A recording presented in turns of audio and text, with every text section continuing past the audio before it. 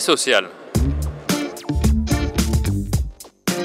Bonjour, je suis Axel Robaudière, donc je suis directeur général chez KPMG, en charge euh, du marché des ETI, mais également des talents et de l'Afrique. Alors nous avons abordé l'enjeu du digital et de la technologie pour les entreprises de taille intermédiaire et euh, la manière dont le MEDEF pouvait également euh, accompagner euh, ces entreprises dans leur transformation. On a parlé beaucoup ces dernières années de, technologie et d'humain.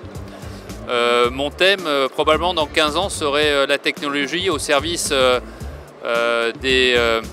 l'égalité et du comblement des inégalités euh, au sein d'un monde de plus en plus, euh, je morcelé. Alors, digital, environnemental et euh, humain.